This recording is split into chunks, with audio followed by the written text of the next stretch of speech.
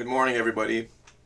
There comes a time when you gotta move forward and upgrade in a software, even though you kind of carry some of the great values of some of the old parts. And I've kind of just done that. I have just upgraded to 7.1 on SketchUp. I have a pro version. Why it makes it easy for me to do this when I have a pro version someone else is I, the pro version gives me the ability to import from AutoCAD. Um, those of you who do not have a pro version, the student pro version is $49 for a year. A pro version is 500 It's a bit steep when you're a student, but the pro version has all these importers and exporters. So um, I'm going to tell you why I made the leap here. Um, and the reason I made the leap is I made a cost benefit analysis of the ability to pull in some things from AutoCAD versus the ability to really deal with the latest programming language improvements in Ruby. And I've got a bunch of different machines running a bunch of different versions of SketchUp on Windows and on Apple. Uh, and for this one plugin, the Ruby code editor, for this one plugin, I'm making this leap of not being able to immediately pull in from AutoCAD. Now, I want to point out that you can make this leap, and there's a number of other reasons to make this leap to SketchUp 7.1. Um, mostly because it's much faster. So SketchUp 7.1 along with Sketchy Physics 3.x, I think it's called, the experimental version, really gets you a lot of improvements. But this Ruby code editor, which we'll find and look at the download in a second here, it has it's just so well laid out, really thoughtful in fact that it takes you to a bunch of different resources and these are all the same resources that I've discovered over time. It takes you to Ruby resources. Had a problem with that. It takes you to the API Google resource for API documentation for SketchUp. It takes you to one here which I've never done on it, but it's uh, it's kind of these basic places you can go, but then you can click right back to your code. And when you're done on the bottom here, you can hit a button and execute the code. So if you notice here, it gave me the name of the SketchUp uh, of the model I've got here. So um, this code editor is the single most important reason to switch to 7.1 that I have found, though there's a lot of other great reasons. And so let's look at what this code editor um, where it comes from. And it's a guy named AS, basically, and we're going to look for his name. There's an about. There he is. There it is. Alex Schreyer. And the web console code originally came from a guy named Jim Foltz. So, um, but this has got some great improvements to it. So we're going to visit my web page and leave a comment. Does it let me do that? I don't think it lets me do that. Oh, there it is. And now I'm out to this guy's web page. And we'll make a comment here. I'll make it for the... This is a gentleman that's got some incredibly great stuff out here. And so we want to let him know that. And eventually we'll give him a little money. This is great.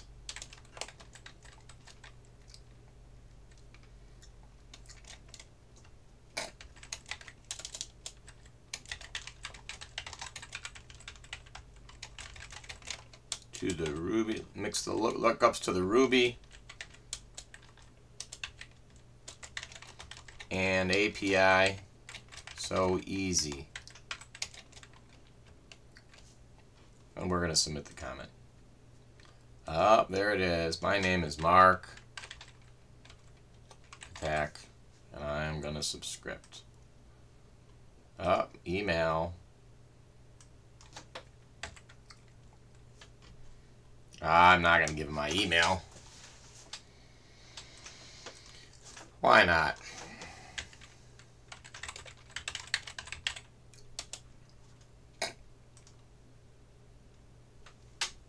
All right, so we've subscribed to this guy and let him know what a great thing he's got. And the reason why we got out there is, of course, we went through this Ruby editor. So mostly you're going to see that this Ruby editor is going to be great for this reason It's going to be able to pull you to look at all kinds of different things, but it takes you back to the code here. Uh, and so this single this single improvement here is worthwhile sketching up sketching up to 7.1 and of course the problem when you import now however you don't have an option for drawing files. So you've got to figure out keep around find out a way for yourself to um, have a, access to an import from AutoCAD many of you you'll see um, that can, that will be available on campus at some spot, and there'll be others around. And there's probably someone who's already written a converter already, I would guess. But at $49, again, it's not money you want to spend right now, but it's something you might want to get just before you leave college. So you've got a pro version to use for a year. Um, as a student version, the pro version is if you're going to be spending money, and I would really promote it to your employers to spend $500 for a pro version. This software is worth it. Most CCU can tie into all the Rubies that are out there. So how does that look? Well, let me just show you. I've got one piece of code out there. I'm just going to put in three lines here. I'm going to draft some three lines. Uh, I'm going to say L and I'm going to go one, two, three lines, space bar here. I go to my plugins and I can go to a Ruby code editor and I had some files out there and one of them I had here was an entity transform. And this is the addition to the code. It may look complex for you, but I'll explain this code. We'll see what it does, and then we'll move on. Basically, when you open up this code editor, it'll bring you these three lines at the start I've then defined a view. I've given it a little message that tells me how many entities are in this model. I I'm doing something called a loop, a recursion of 100 times. I give it a location of a point and something that's incredibly important. It's a geometric transformation of two types. One is going to be a transformation that's a translation, another one is a scale. In the middle of that, I define a 3D point, and then I actually transform three entities, the three lines I've drawn, and then I refresh the view. I do that 100 times. There's all kinds of better ways to code this, but that's an example of how much code it takes to do this. And the beauty of this program then is I'm going to go to here, I'm going to zoom out a little bit, and you're going to see what happens now to these And it's you're not showing me. Unfortunately, you can't see it. It's a bummer. Here we go. It actually, wow, interesting. It actually did a whole bunch of stuff. We're going to try it again. File, new. No. Now we're going to take and do one, two, three. I'm going to go ahead and see what happens. I'm going to hit the button here. Unfortunately, it goes right on top, which is not good. But you'll get the point. So right underneath, as we speak right now, it has been moving and editing and changing around everything I've got there. And so when I go to here and hit zoom extents, it actually took that thing and I made it larger and translated into all kinds of stuff. So that's an unfortunate thing that it pops back on top, but we'll look at uh, how to move that around later. All right, thanks for listening. Once again, let's show you where to get it. Do a search out here on Alexander, S-C-H-R-E-Y-E-R.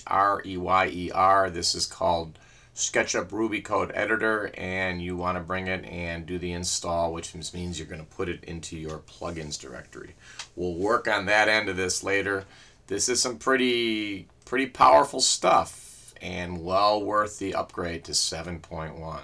Hope you're having a great summer. Thanks for listening and look for more Ruby coding snippets as we look at animating what we've started doing on the side in our AutoCAD classes.